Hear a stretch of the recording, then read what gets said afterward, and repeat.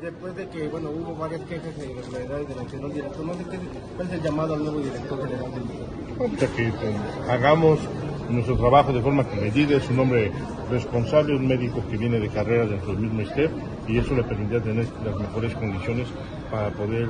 dar el servicio que se requiere y que estamos entrándole con todo entre todos para poder generar mejores Gobernador,